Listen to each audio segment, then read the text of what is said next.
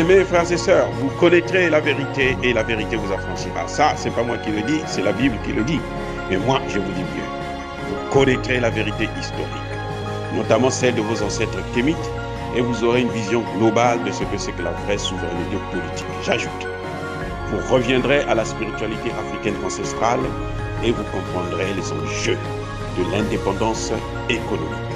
Et pour terminer, vous accepterez votre identité culturelle kémite et vous obtiendrez deux choses. La première, c'est la paix. La seconde, c'est le développement, à une condition. L'unité de toute l'Afrique noire, l'unité de tous les Noirs du monde entier. Otep à tous, bienvenue sur la chaîne des panafricanistes par essence, par conviction et par excellence.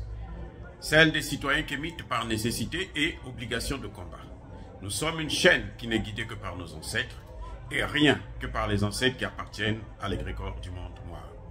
Par conséquent, nous ne croyons en aucun Dieu venu de l'étranger.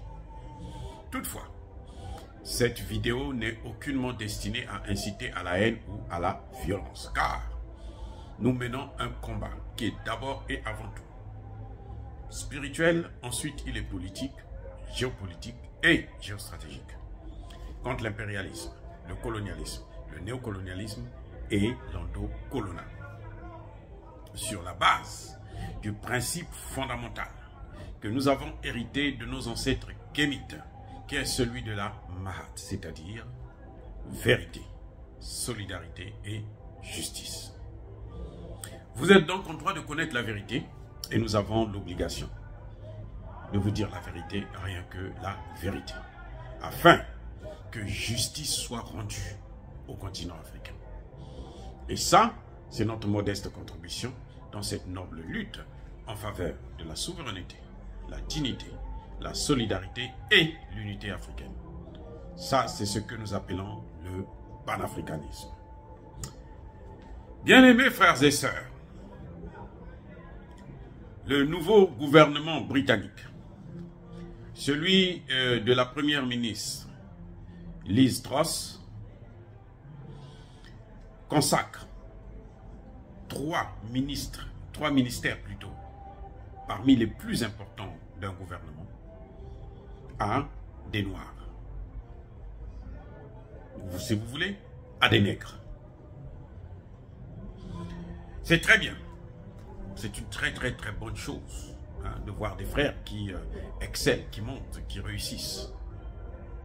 Mais il nous appartient en tant qu'intellectuels, parce que le continent noir a déjà trop subi à travers l'esclavage, la colonisation, le, néocolonialisme et aujourd'hui l'endocolona. C'est-à-dire qu'ils trouvent des gens, qu'ils recrutent des Noirs, des Africains, pour faire ce que les Blancs faisaient pendant la colonisation et la recolonisation, ou la néocolonisation. Eh oui, on est en train de vouloir diviser l'Afrique, c'est avec des Noirs, avec la complicité des Noirs. Ils veulent s'accaparer de l'Afrique, ils veulent euh, euh, euh, installer des bases militaires en Afrique, c'est avec l'appui des Noirs. Vous avez parmi lesquels des gens comme Alassane Ouattara, des gens comme Bazoum, des gens comme Macky Sall, des gens comme, comment vous l'appelez, le, le, le Rwandais Paul Kagame, ainsi de suite. Donc la liste, elle n'est pas exhaustive de ces endocollants qui travaillent pour l'Occident, des chevals de Troie de l'Occident. Donc cette fois-ci, c'est en Grande-Bretagne. C'est du jamais vu dans l'histoire de la Grande-Bretagne, dans l'histoire d'un pays européen, colonisateur du continent africain. Mais qu'est-ce que cela signifie? Quels sont les enjeux qu'il y a derrière?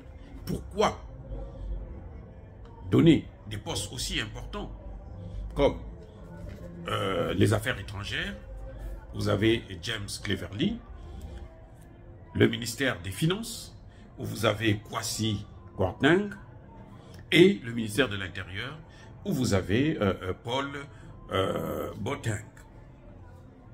Donc vous avez les trois ministères, hein, en tout cas les plus importants dans un gouvernement, qui est celui des affaires étrangères, celui des finances, et aussi celui de l'intérieur. Vous allez dire, mais monsieur, il faut être content. Oui, c'est très bien. Vous savez, nous avons été très contents. Lorsque Barack Obama a, gagné l'élection ici et a été euh, élu président de la République. Là, c'était par élection.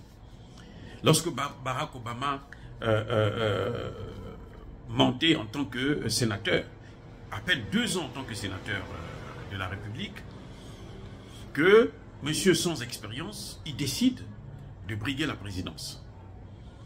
Le mot d'or était là pour tous les Africains, tous les Africains américains, tous les Noirs, si vous voulez qui vivent aux États-Unis et qui votent.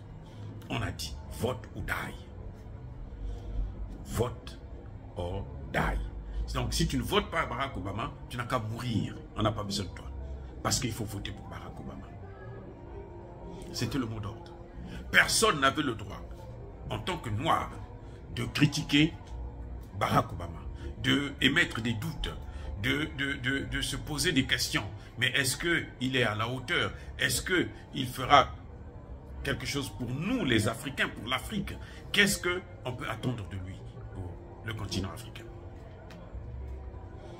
Voyez, c'est la même chose aujourd'hui. On voit que c'est un gouvernement qui est tenu par des Noirs.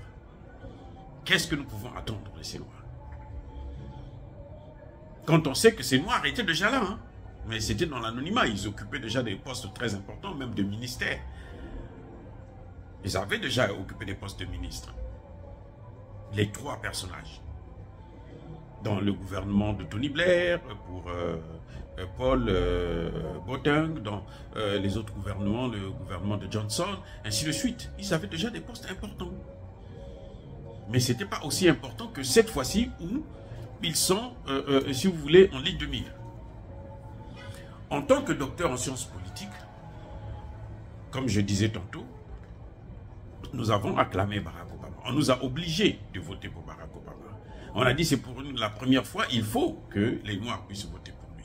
Et à près de 99%, presque 100% des Noirs, on a voté pour Barack Obama. Même pour nous autres, les républicains, on était obligés de voter pour lui. Très bien. Qu'est-ce que Barack Obama nous a donné? Qu'est-ce que Barack Obama a apporté à l'Afrique?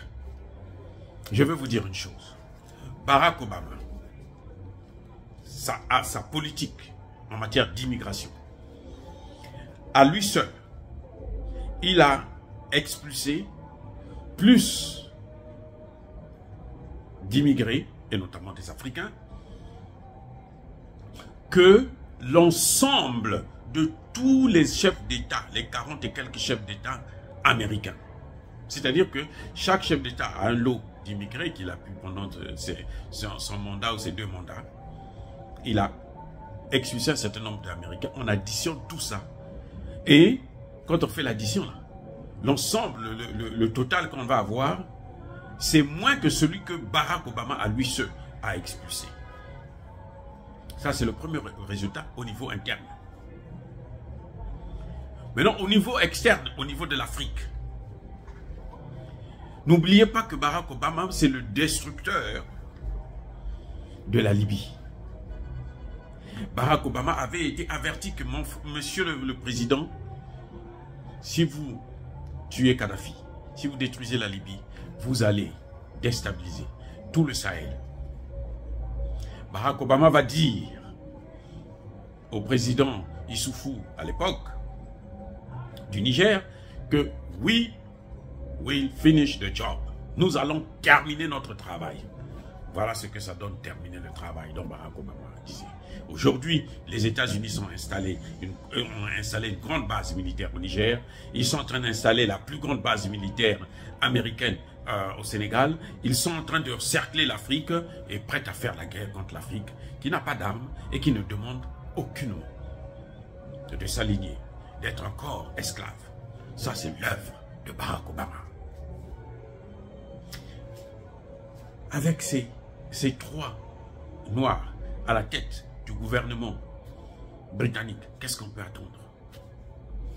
Ne vous leurrez pas. Ça montre tout simplement, à mon, mon humble avis, que les Anglais ont compris que leur avenir se trouve en Afrique Vous savez qu'aujourd'hui, les pays européens ont un grand problème, c'est qu'ils sont en train de s'industrialiser. Et l'industrie ne peut remonter que lorsque vous avez des matières premières que vous transformez sur le terrain. Et de plus en plus, les Africains veulent transformer leurs matières premières chez eux. Ça, ça pose des problèmes pour les Européens. Et la Grande-Bretagne a vite compris et elle se dit, il faut mieux mettre des Noirs parce que là, ce sera plus facile pour nous d'aller convaincre les Africains d'encore céder, de se laisser encore berner et euh, euh, de se faire, euh, comme vous le savez, je n'ai pas envie de sortir des gros mots, mais de se faire avoir. Voilà, la Grande-Bretagne a compris. Donc, je dis aux Africains, vous n'attendez rien de ces changements. N'attendez rien de ces changements. Ça n'apportera rien du tout.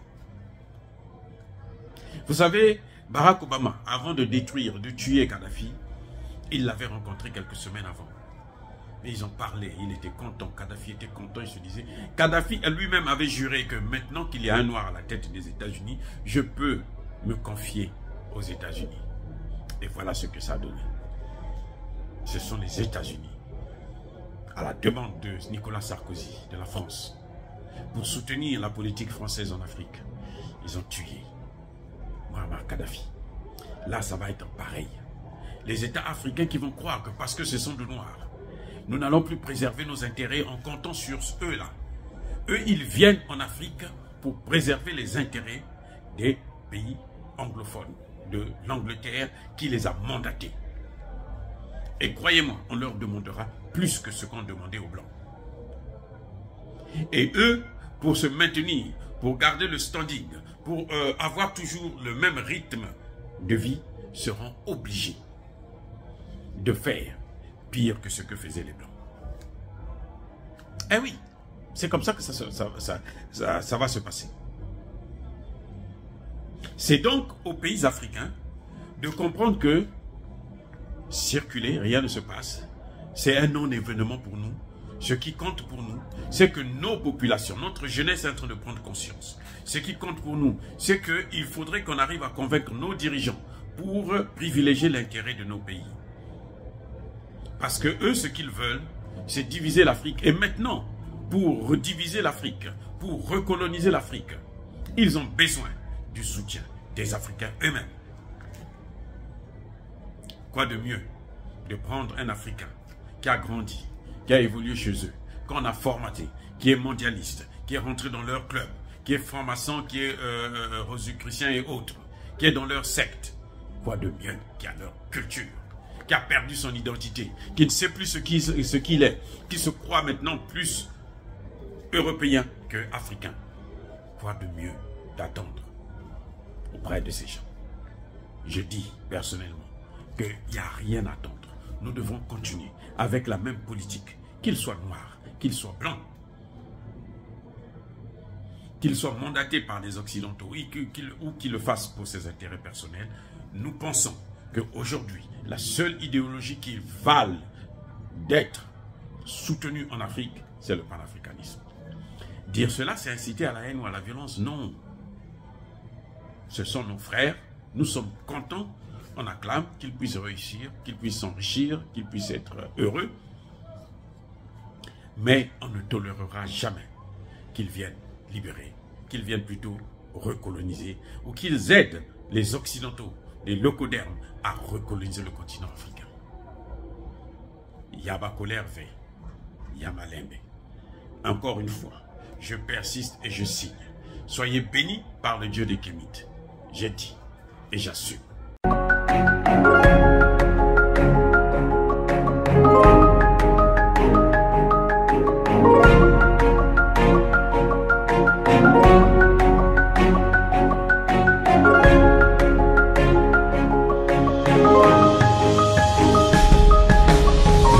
Eux, ils marchent par la foi et non par la vue.